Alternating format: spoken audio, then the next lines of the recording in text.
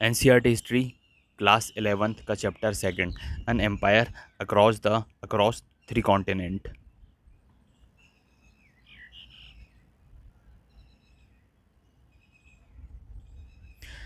Roman empire जो काफ़ी फैला फैला हुआ था मतलब उसकी जो टेरिटरी उसकी जो सीमा है, काफ़ी लंबी फैली हुई थी। यूरोप से लेकर पूरे नॉर्थ अफ्रीका तक इसकी टेरिटरी है, रोमन एम्पायर की फैली हुई थी। और इस इसमें रोमन एम्पायर के बारे में ही दिया हुआ है। इस चैप्टर में हम देखेंगे मतलब रोमन एम्पायर के बारे में किसकी स्थापना कैसे हुई इसे क्या क्या पॉलिटिकल पार्टी कौन कौन सी थी उन्होंने किसको कैसे शेप करा, जो आज इस मतलब जो पोजीशन है, और वहाँ पर कितने टाइप के सोशल ग्रुप हैं मतलब कितने कितने प्रकार के लोग रहा करते थे उस टाइम पर, और उनकी भाषाएँ क्या थी, और उनके और उनका कल्चर क्या था, और वहाँ पर महिलाओं को काफ़ी अच्छी पोजीशन थी मतलब उसके अगर कंपेयर करा करा जाए मतलब आज के टाइम पे तब ज़्यादा बेहतर थी महिलाओं की कंडीशन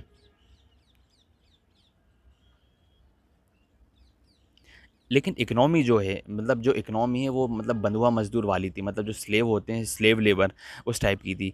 तो वो मतलब जो लेबर थे, वो अपनी आज़ादी से वंचित थे। मतलब आज़ादी क्या होती है, उन्हें पता ही नहीं था। और फिफ्थ फिफ्थ सेंचुरी में क्या हुआ? कि ये जो एम्पायर है वो थोड़ा सा डिवाइड हो गया मतलब बढ़ गया। वेस्ट कुछ वेस्ट में चला गया और कुछ ईस्ट में चला गया। लेकिन जो ईस्टर्न वाला पार्ट है वो तो वो काफ़ी कुछ टाइम तक प्रॉस्पेरस रहा, संपन्न रहा। और आगे हम जो खिलाफत है, ये कैलिफ ये C A L I P H A T ये खिलाफत लिखा है, जो खिलाफत आंदोलन, खिलाफत मूवमेंट जो खिलाफत है। आगे इसके बारे में पढ़ेंगे कि उसकी प्रॉस्पेरिटी क्या थी, क्या था रीजन ट्रेडिशन क्या था अर्बन अर्बनाइजेशन कैसा था उसमें।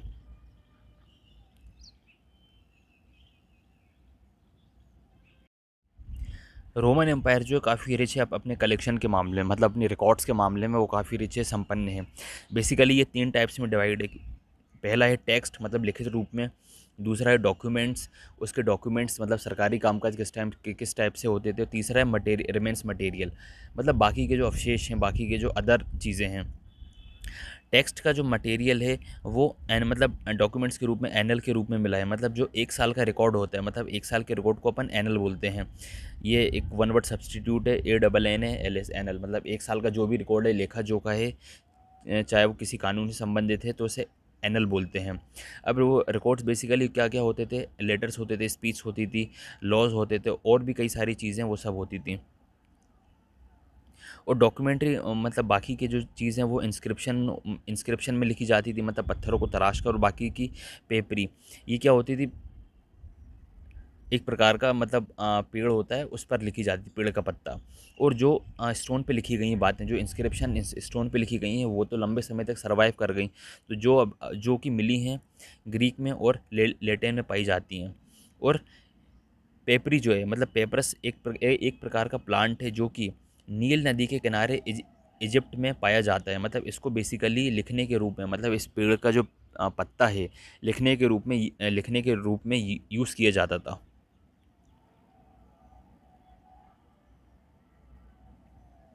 और इस प्रकार के थाउजेंड्स ऑफ़ डॉक्यूमेंट्स मिले हैं, और जो ये लिखता था पेपरस पर और जो स्कॉलर होता था, उसको पेप्रियोलॉस्ट कहते थे। मतलब जो स्कॉलर होता था, उसको ये उसको ये बोलते थे। और बाकी के जो मटेरियल चीज़ें हैं, वो डिस्कवरी में और जो आर्कियोलॉजिस्ट को इसकी खोज में मिली हैं, जैसे कई सारी चीज़ें हैं जो स्ट्रक्चर है पोट्री है कॉइन्स हैं, और कई सारी चीज़ें हैं मतलब एक्सकेवेशन मतलब जो खुदाई में मिली है आर्कोलॉजिस्ट को, इसके अलावा भी कई सारी चीज़ें डॉक्यूमेंट्स हैं। मतलब हर सोर्स मतलब हर चीज़ जो है ये अपने पास्ट के बारे में बताती है और मोस्ट इंपॉर्टेंट बात जो है, वो ये है और जो कि हमारे लिए फ्रूटफुल है। और इंपॉर्टेंट बात ये है कि हिस्टोरियन की भी एक स्किल्ड है कि कोई व्यक्ति किस बात को कैसे एक्सप्रेस करता है। मतलब हर व्यक्ति का एक तरीका होता है, कोई बात रखने का, कोई बात कहने का। अभी हिस्टोरियन पे भी डिपेंड करता है कि उसने अपनी बात को किस तरीके से रखा है, अपनी बात को किस तरीके से बताया है।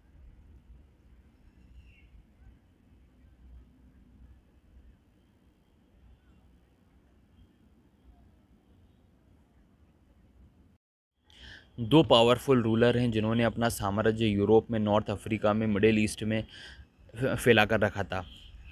आ, कब से कब से ये बर्थ ऑफ़ क्रिस्ट मतलब क्रिस्ट के जन्म से लेकर सेवन सेंचुरी तक अभी दो एम्पायर कौन कौन से दिए थे? रोम और ईरान। रोम और ईरानियन मतलब आपस में ये लोग हिस्ट्री की बात करें तो आपस में इन्होंने ज़्यादातर आपस में लड़ाई ही लड़ी है। ये दो आपस में आ, मतलब आ, पास पास थे एक दूसरे के। एक नदी से सटे हुए थे यूफ्रिड यूफ्रिड नदी इन दोनों को आपस में अलग करती थी। इस चैप्टर में हम ज़्यादातर रोम के बारे में पढ़ेंगे रोम एम्पायर के बारे में बट कहीं कहीं हम ईरान जो ईरानियन लोग हैं उनके बारे में उनके बारे में भी पढ़ेंगे।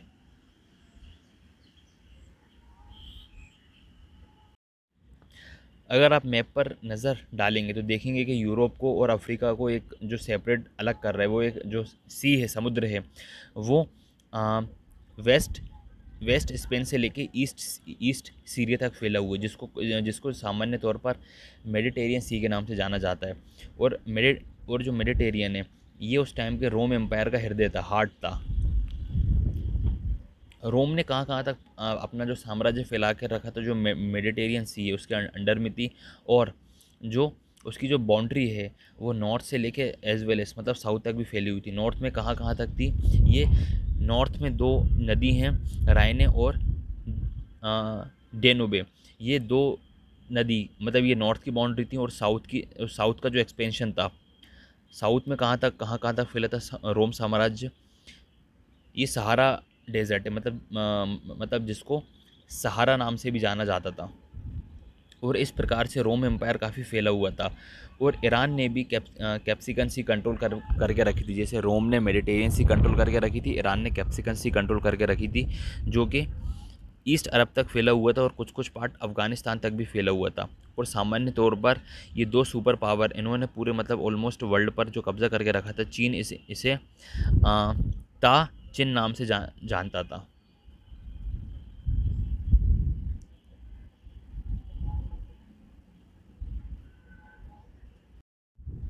रोम एम्पायर को बेसिकली दो फेस में बांटा जा सकता है मतलब दो पार्ट्स में रोम एम्पायर को बांटा जा सकता है। पहला है अर्ली दूसरा है लेट मतलब पे, आ, पहला जो है पहले वाला और फिर उसके बाद बाद वाला।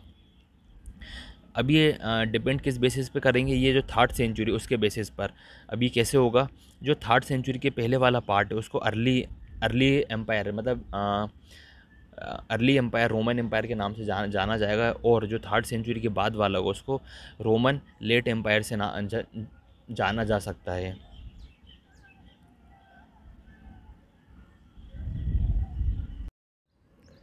ये जो दो सुपर पावर थी एक रोमन एम्पायर और एक ईरानियन एम्पायर मतलब जो रोमन एम्पायर रोमन एम्पायर का जो कल्चर था, वो काफ़ी डाइवर्स था अगर ईरान से कंपेयर करें तो। ईरान में पहले पर्थियंस का शासन था, उसके बाद सेसेनियन सेसेनियन जो थे, उन, उनका साम्राज्य था और इन्होंने ईरान ईरानियन लोगों पर राज करा था। और जो रोमन एम्पायर है रोम रोमन एम्पायर का जो सिस्टम है मतलब उसका कल्चर और उसका जो चीफ है, जो एडमिनिस्ट्रेशन है, राजा का सिस्टम वो थोड़ा सा मिला जुला हुआ था। वहाँ पर कई सारी भाषाएँ बोली जाती थी, लेकिन जो एडमिनिस्ट्रेशन में मतलब जो शासन में, प्रशासन में जो भाषा यूज़ होती थी, वो ज़्यादातर लेटिन या ग्रीक होती थी। मतलब कई सारी भाषाएँ वहाँ पर बोली जाती थी, कई सारी भाषाएँ थी, लेकिन प्रशासन में जो सरकारी कामकाज होते हैं वहाँ पर लेटिन और ग्रीक ही यूज़ होती थी। जो अपर क्लास के लोग हैं, वो upper class east east side के लोग हैं, वो ग्रीक भाषा का यूज़ करते थे और वेस्ट साइड के जो हैं, वो लेटिन भाषा का यूज़ करते थे। और इसका जो डिवाइड है, वो एक बाउंड्री लाइन कर दी थी। चाहे कोई भी व्यक्ति हो, अगर वो एक शासन के बीच में कहीं पर भी रह रहा हो या वो किसी भी भाषा का यूज़ कर रहा हो, वो राजा के अंडर में मतलब वो प्रजा जो कहलाती थी, राजा के अंडर में कहलाती थी।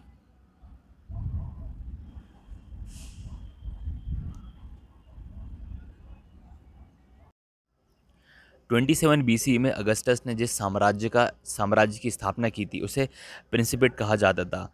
वो एक ऐसा एकमात्र राजा था only real real source authority जिसको कल्पना में ज़िंदा रखा गया था लीडिंग लीडिंग सिटीज़न के तौर पर नॉट द एब्सोल्यूट रूलर मतलब वो एक तानाशाही राजा नहीं था। और ऐसा करा इसलिए गया था रिस्पेक्ट फॉर द सेनेट मतलब सेनेट बेसिकली मतलब होता है सभा कह सकते हैं इसको सेनेट की रिस्पेक्ट के लिए। जिसको कंट्रोल किया करता था आ, पहले रोम रोम के द्वारा जो कि पहले एक गणतंत्र माना जाता था मतलब पहले एक रिपब्लिक था रिपब्लिक स्टेट था। सेनेट एग्जिस्ट करता रहा रोम में कई कई सदियों तक कई से, कई सेंचुरीज तक। A body a body represent the aristocracy मतलब जो अमीर वर्ग के लोग थे वो इसको रिप्रेजेंट किया करते थे। बाद में इसको इटली इटली के मूल इटली के मूल निवासी भी आ गए इसमें। ज़्यादातर जो रोमन हिस्ट्री है, वो अब तक सर्वाइव इसलिए कर पाई जो जिसको रोमन हिस्ट्री को लिखा गया था ग्रीक और लेटिन भाषा में और ये अब तक सर्वाइव कर पाई सर्वाइव भी कर पाई और इसको लिखा इन्हीं लोग इन्हीं लोगों के द्वारा इसको रोम हिस्ट्री को लिखा गया था। और राजा कैसा था, ये इस बात से जज किया जाता जाता था कि उसका उसका बिहेवियर सेनेट के प्रति कैसा है। जो वर्स्ट राजा होता था, वो अपने सेनेट को शक सेनेट पर शक करता था, उन पर क्रूरता का व्यवहार करता था वॉयलेंस करता था। और कई सारे सेनेटर जो हैं, उन्होंने मतलब वो वापस जो रिपब्लिक वाले स्टेट है मतलब गणतंत्र राज्य गणतंत्र राज्य में पहुँचना चाहते थे, लेकिन कई सारे सेनेट ने गिव अप कर दिया था कि यार ऐसा तो अब इम्पॉसिबल है।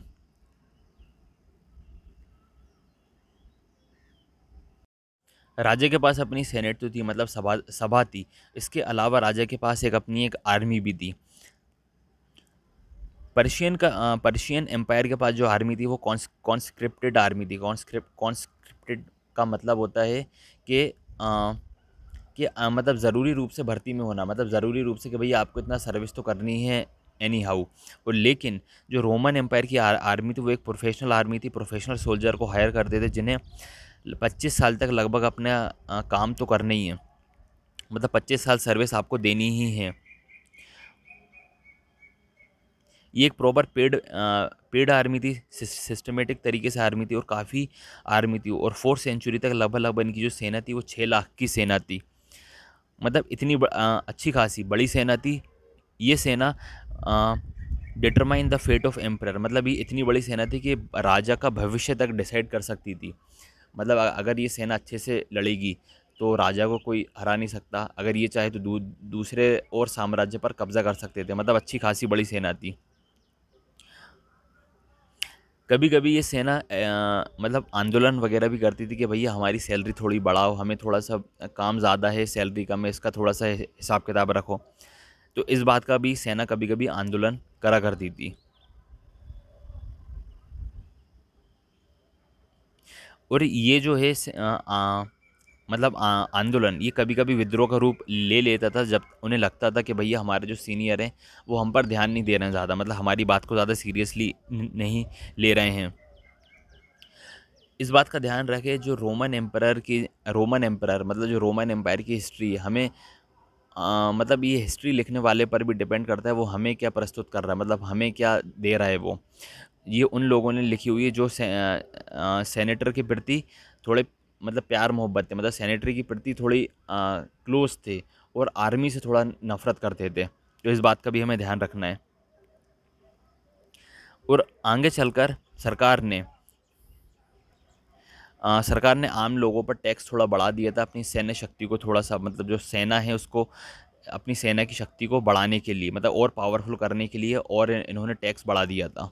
आम लोगों आम लोगों पर।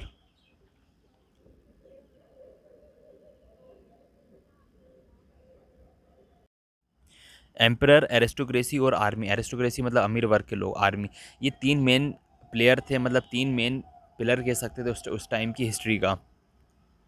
और सक्सेस इंडिविजुअल कब कितने समय तक वो अपने साम्राज्य को अपने शासन को कंट्रोल करता था इस बात पर डिपेंड करता है कि उसका आर्मी पर कितना कंट्रोल था। मतलब आर्मी उसकी बात कितनी मानती थी ये इस इस बात पर भी डिपेंड करता था। जब आर्मी डिवाइड होती थी तो सिविल वार हो, होता था मतलब गृह युद्ध होता था। उस टाइम पर चार अगर एक साल को छोड़ दिया जाए तो उस टाइम पर चार राजा एक के बाद एक क्विक सक्सेशन बने थे। क्विक सक्सेशन मतलब होता है एक के बाद एक राजा बने थे और काफ़ी तेज़ बने थे। फ़र्स्ट सेंचुरी तक कोई सिविल वार नहीं हुआ था मतलब स्टेबिलिटी बनी रही थी। और जो राजा मतलब कौन किसके बाद राजा बनेगा, इस, ये इस पर डिपेंड करता था। फैमिली डिसेंडेंट मतलब कौन किसका पुत्र है, कौन किसकी पुत्री है, इस बात पर डिपेंड करता था। चाहे वो नेचुरल उनका बायोलॉजिकली उनका सन हो या फिर उनका अडॉप्टिव हो। और आर्मी भी इसकी काफ़ी रिस्पेक्ट करती थी। मतलब ये ये जो डिसीज़न था, भले चाहे अडोप्टिव सन हो, चाहे वो उनका खुद का सन हो, जो भी राजा बनेगा, आर्मी उनकी उनकी जो आर्मी है, इसकी भी काफ़ी रिस्पेक्ट करती थी। एक एग्ज़ाम्पल दिए हुए टिबेरियस का। टिबेरियस को मतलब अगस्टस ने अगस्टस ने जिसने प्रिंसपेट की नींव रखी थी इस साम्राज्य की अगस्टस ने टिबेरियस को गोद लिया था, जो कि रोमन एम्पायर से बिलोंग करता था, क्योंकि अगस्टस की कोई संतान नहीं थी।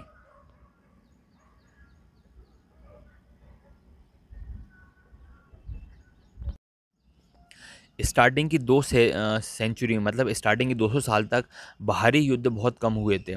क्योंकि अगस्टस के बाद जो टिबेरियस राजा बना था, उसको ज़रूरत ही नहीं पड़ी थी। मतलब अगस्टस ने ऑलरेडी इतने ज़्यादा टेरिटरी पर, इतने ज़्यादा ज़मीन पर कब्ज़ा कर रखा था कि उसके अलावा और कब्ज़ा करना मतलब ऑलमोस्ट ऐसा था कि अननेसेसरी कि भाई ऑलरेडी इतने ज़मीन इतना सारा एरिया कवर करके रखा है, और कितना और कितना कब्ज़ा करोगे। तो ये काफ़ी अननेसेसरी लगता था। अगस्टस का जो दौर था, वो काफ़ी शांति का दौर माना जाता था। मतलब उस अगस्टस ने जब तक अपने साम्राज्य पर राज करा था, तब तक उसके साम्राज्य में काफ़ी शांति थी। मतलब लड़ाई झगड़ा आपस में भी कम होता था और बाहरी रूप, बाहरी भी कम होता था। सिर्फ़ एकमात्र ऐसा है ट्रेजा ने, ट्रेजा, ट्रजान का एम्पायर जिसने एक्सपांशन करने का सोचा था और उसने लगभग यूफ्रेट रिवर तक अपना अपना साम्राज्य स्थापित कर लिया था यूफ्रेट रिवर तक कब्ज़ा कर लिया था। लेकिन ट्रिजन के जो आने वाले आने वाले जो आ, मतलब सक्सेसर आने वाले जो राजा हैं उन्होंने इसको छोड़ दिया था। अबंडन का मतलब होता है गिव अप कर देना या छोड़ देना। उस उन्होंने वो एरिया बाद में छोड़ दिया था।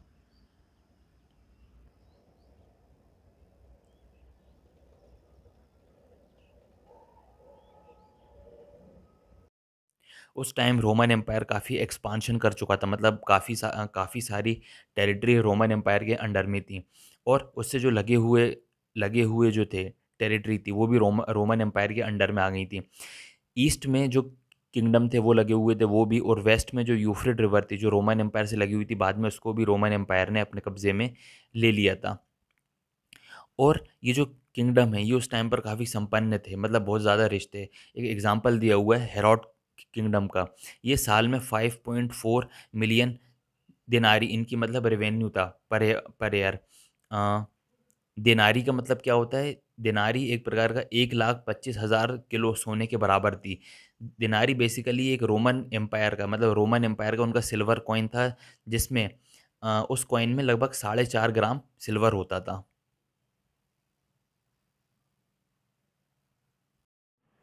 इटली को छोड़कर बाकी के जो प्रांत बाकी के जगहों को टेरिटरी को प्रांत माना जाता था। सिर्फ़ इटली को इटली को प्रांत नहीं माना जाता था और उनसे टैक्स वसूला जाता था। सेकंड सेंचुरी की बात करें तो रोम रोमन एम्पायर काफ़ी फैला हुआ था। उसकी सीमा कहाँ कहाँ तक थी? स्कॉटलैंड से लेकर अर्मेनिया तक थी सहारा से लेकर यूफ्रेट तक थी और कभी कभी तो इसके आगे, आगे भी आ, माना जाता है। इसके आगे भी उसकी लिमिट थी। जैसी आज की जो गवर्नमेंट है मॉडर्न टाइम में, उस टाइम पर मॉडर्न गवर्नमेंट नहीं थी मतलब उस टाइम पर इस प्रकार की गवर्नमेंट नहीं थी मतलब प्रॉपर सिस्टमेटिक लेकिन फिर सवाल ये उठता है कि इतनी बड़ी टेरिटरी को फिर कंट्रोल कैसे किया जाता था? और सेकेंड सेंचुरी तक इसकी आबादी जो थी, लगभग लगभग सिक्सटी मिलियन थी। तो फिर ये मतलब इतनी आबादी को कंट्रोल कैसे करते थे? तो कंट्रोल कैसे करते थे? तो इसका जो आंसर है, वो हमें अर्बनाइजेशन में मिलेगा कि उनका सिस्टम क्या था और उसको कंट्रोल कैसे किया करते थे।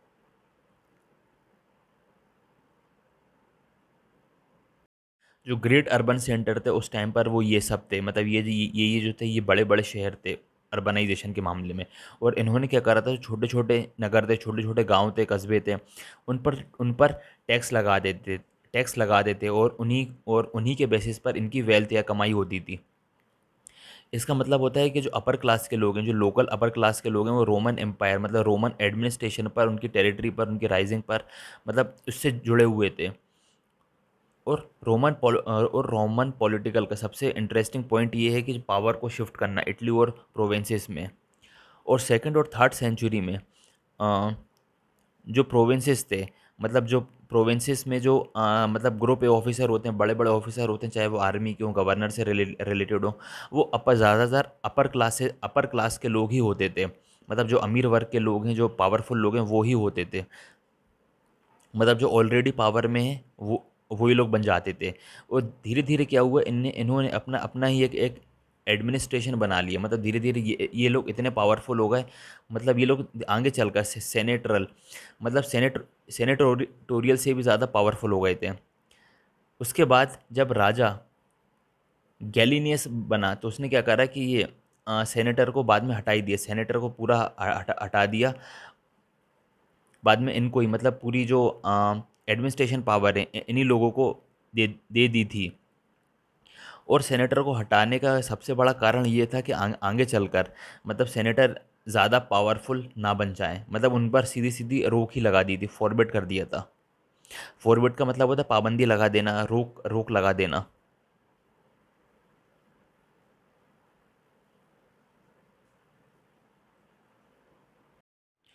फ़र्स्ट सेंचुरी के लास्ट में और सेकंड सेंचुरी और थर्ड सेंचुरी के स्टार्ट में जो आर्मी और एडमिनिस्ट्रेशन से अब अब लोग बागों को प्रोविंसेस से भी रिक्रूट कर, करने लगे थे। अब मतलब जो है प्रांतों से भी आर्मी और एडमिनिस्ट्रेशन के लिए लोग बाग आने लगे थे।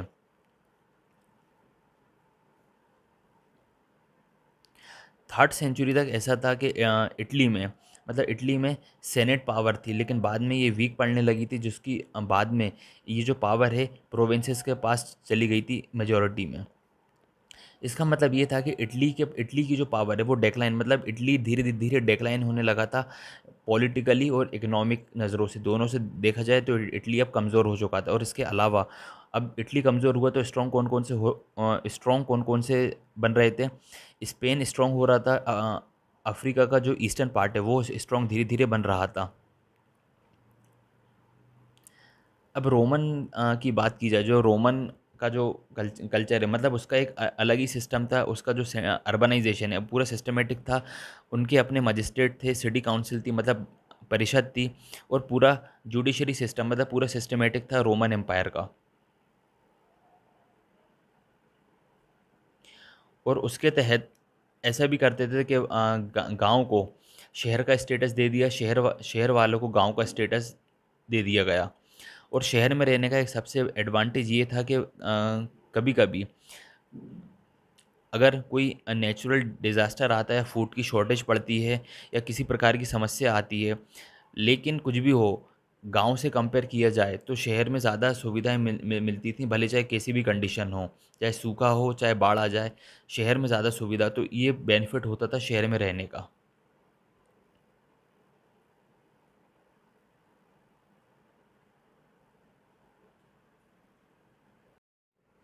रोमन अर्बन लाइफ की मतलब रोमन में अर्बन लाइफ जो शहरीकरण है वहाँ पर पब्लिक बात के पब्लिक बात मतलब जो बड़ा सा स्विमिंग पूल होता है और सबको मतलब पब्लिक साथ में नहा सके उसका एक अलग ही इम्पोर्टेंस है। लेकिन जब ये कॉन्सेप्ट ईरान में आया तो ईरान के जो आ, मतलब पुरोहित लोग हैं जो क्लर्जी लोग हैं उन्होंने इसका इसका काफ़ी विरोध किया था। लेकिन रोमन में रोम में इसको मतलब एक हाई इंटरटेनमेंट मतलब रोमन में हाई इंटर मतलब इंटरटेनमेंट को हाई लेवल पे रखा जाता था मतलब इंटरटेनमेंट को ज़्यादा इंपॉर्टेंस दी जाती थी। एक एग्जांपल से पता चला है कि एक एग्ज़ाम्पल है कि एक पुराना कैलेंडर मिला है आर्कियोलॉजिस्ट को उसमें से पाया गया है कि वो लोग 176 वन साल के 176 दिन कुछ ना कुछ इन्जॉय करते ही रह करते ही रहते थे। मतलब कुछ ना कुछ इन्जॉय पार्टी वगैरह कुछ पब्लिक बात में नहाना किस, किसी न किसी प्रकार का इन्जॉय करते थे।